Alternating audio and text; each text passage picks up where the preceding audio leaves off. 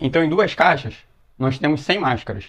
É, escolhendo uma caixa ao acaso e em seguida escolhendo uma máscara, qual a probabilidade de ser retirado uma máscara na cor preta? Vamos lá, olha só. Nesse problema, é, a, a escolha de caixa também é um evento. E eu tenho que levar em conta na hora do cálculo da probabilidade. Então aqui tem duas situações para a gente analisar. A primeira, escolher a primeira caixa, a caixa A, e, em seguida, retirar uma máscara preta. Ou ter escolhido a caixa B e ter sido retirado uma máscara preta. Não precisa resolver usando fórmula, nada disso. É só usar o nosso conceito de probabilidade para espaços amostrais equiprováveis, ou seja, cada elemento daquele conjunto tem a mesma chance de ocorrência. Então vamos lá, olha só. Qual a probabilidade de eu escolher a caixa A? Ora, como existem duas caixas, A e B, meu espaço amostral tem dois elementos. E a probabilidade é 1 sobre 2. Então, retirar a máscara preta da caixa A, a probabilidade de eu escolher a caixa A é meio. E, então foi escolhida a caixa A. E, conectivo E, retirar a máscara preta. Aí eu vejo na caixa A quantas máscaras pretas tem.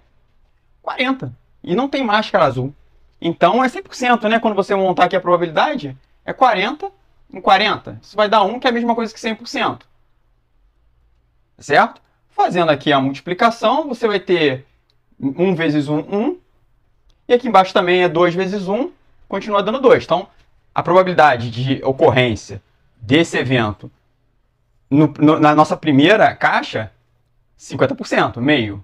Só que eu tenho que considerar ou, né, ou ter retirado a máscara preta lá da caixa B. Qual é a probabilidade de ter sido escolhido a caixa B? Ora, meio também. Então, meio. E, em seguida, escolhida essa caixa, eu quero retirar a máscara preta. Qual é a, proba a probabilidade de retirar essa máscara preta? Quantas máscaras pretas nós temos na caixa B? 50. 50 no total de quanto? Que é meu espaço amostral para as máscaras. No total de 60. Vou cancelar aqui. E aí isso aqui dá 5 e aqui dá 12.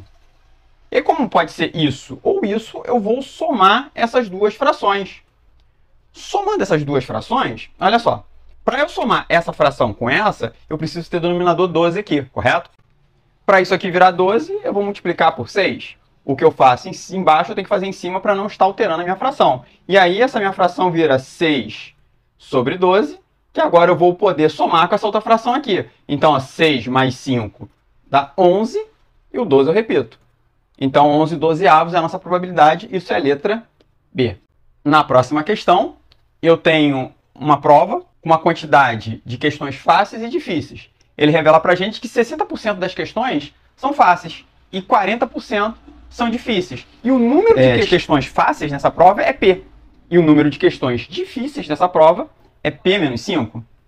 Aí ele quer saber a soma dos algarismos do total de questões dessa prova. Então eu preciso saber qual o número, né? Porque eu preciso encontrar qual o número de questões dessa prova. Então olha só, vamos devagar aqui.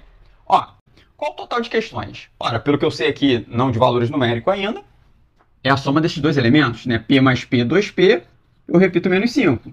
Isso é o total. Tá certo? Aí agora eu vou trabalhar com percentual e equacionar esse meu problema.